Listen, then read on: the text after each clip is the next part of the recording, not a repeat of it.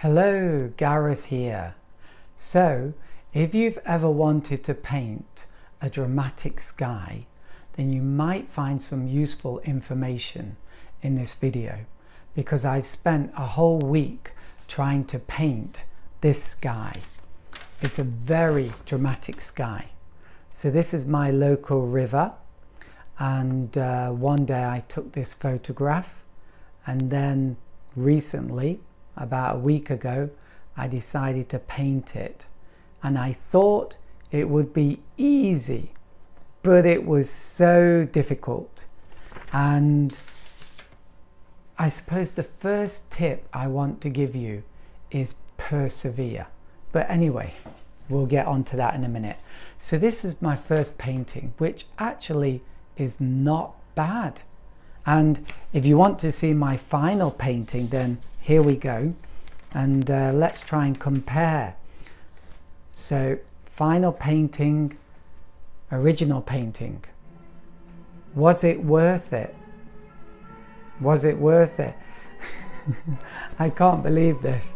Um, I've tried to make this video several times and it's been really noisy and all of a sudden this bus went past blaring out music but anyway it's a patriotic Japanese song and uh, can't believe it. There's got to be something going on in the universe. Okay, so uh, something a bit strange. So this is the original painting and then this is the final one.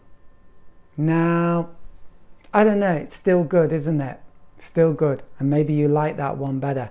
In which case, maybe I wasted my time.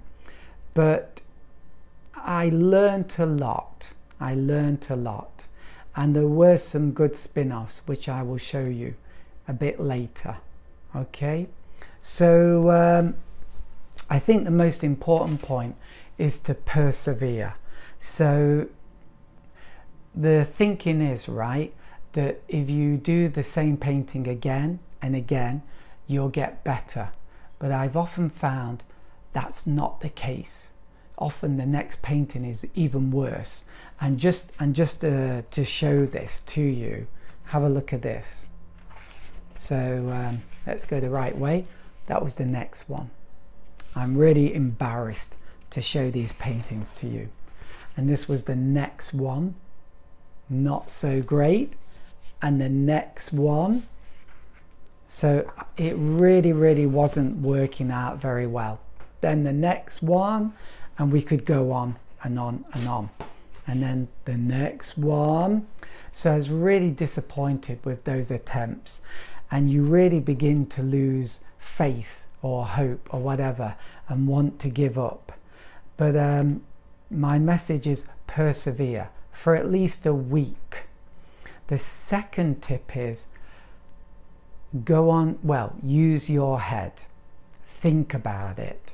And so I had a bit of a think and I thought, okay, maybe I need to learn something here.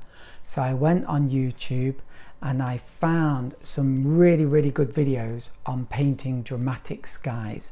So that's the second tip.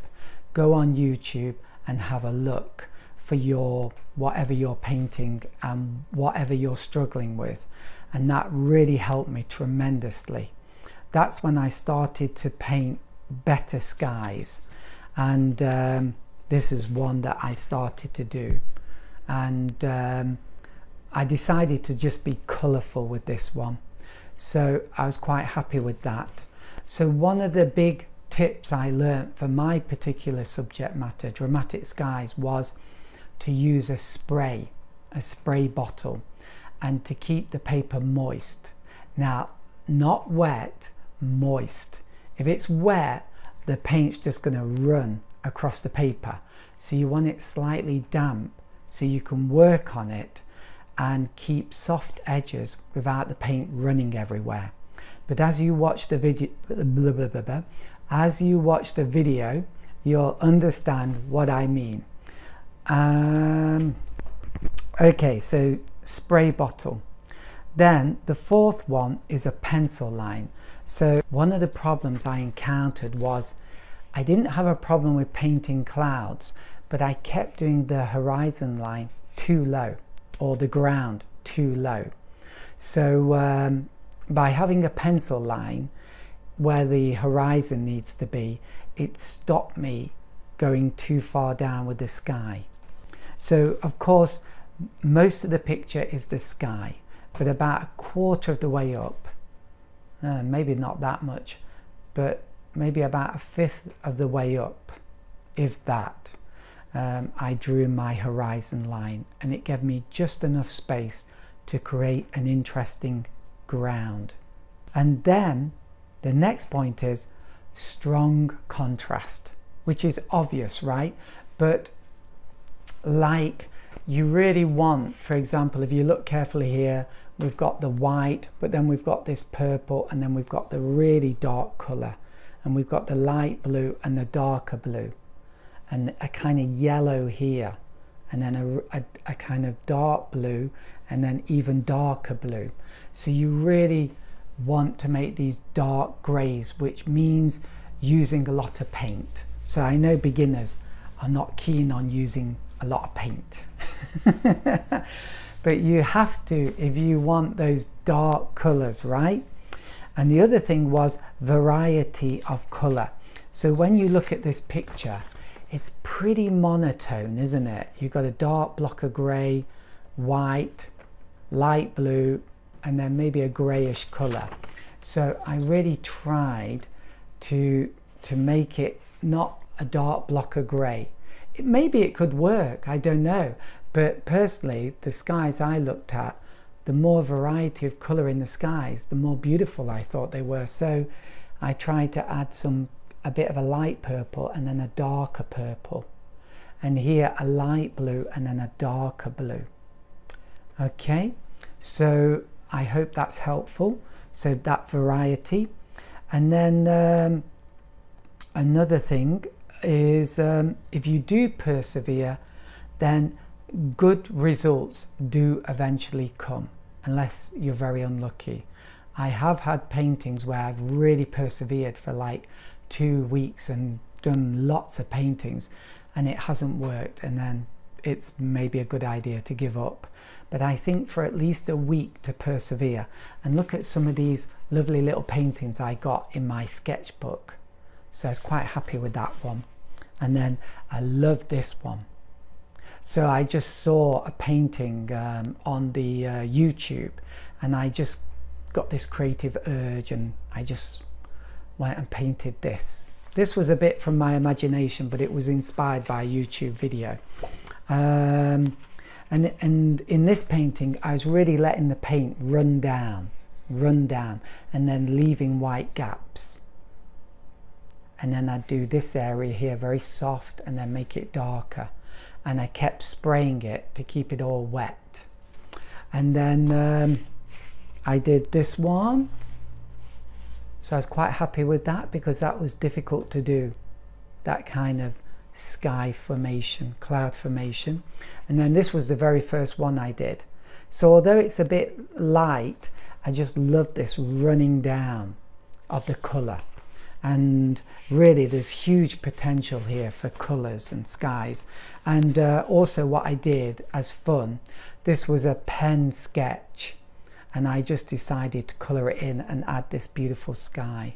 So I think it was well worth persevering with these skies. And so here again is my uh, final one. I'm quite happy with it, not super happy, but quite happy. And I learned a lot. And I did some other little spin-off paintings that were very, very nice. One more point, very important for me this was. At first, I used phthalo blue, alizarin crimson, and yellow ochre.